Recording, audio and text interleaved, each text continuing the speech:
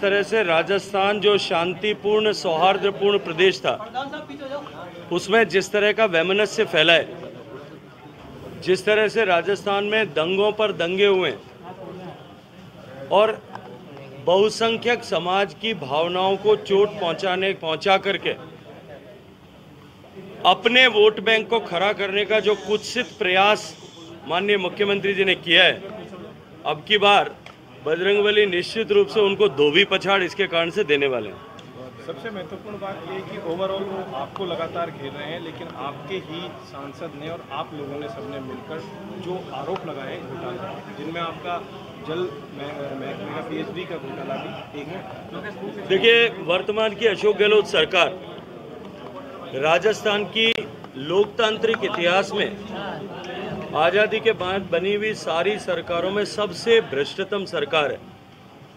जिस सरकार के हर एक विधायक ने भ्रष्टाचार के नए बेंचमार्क्स बनाए।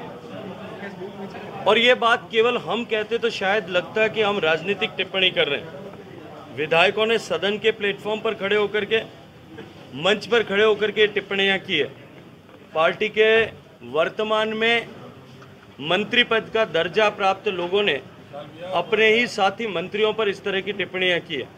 और कैबिनेट में साथ बैठने वाले मंत्रियों ने मंच पर खड़े होकर के इस तरह के टिप्पणियाँ करते हुए सरकार के भ्रष्टाचारी होने पर मोहर लगाई है। और अब सबूतों के साथ जिस तरह से किरोड़ी लाल जी ने एक श्रृंखला की शुरुआत की है, ये तो अभी केवल इस सरकार के भ्रष्टाचार का पोस्टर छपा है। इस पोस्टर के बाद में जो तो है वो फ़िल्म में क्या आता है पोस्टर के बाद में? ट्रेलर आता है। ट्रेलर आएगा।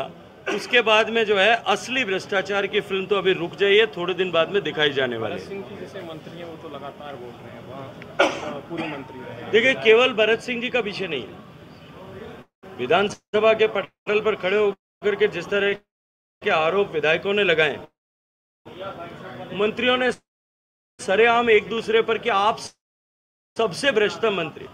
सीएम के सलाहकार ने खड़े होकर के मंत्री पर 50 करोड़ रुपए का घोटाला, मंत्री जी आपने किया, ये शब्द बोले।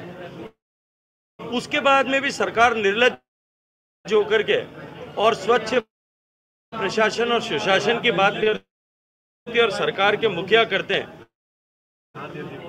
जिस तरह की राजस्थान में हालात है राजस्थान में जिस तरह से एजेंसी का दुरुपयोग हो रहा है, राजस्थान में जिस पर, जिस प्रकार से सरकारी मशीनरी का राजनीतिक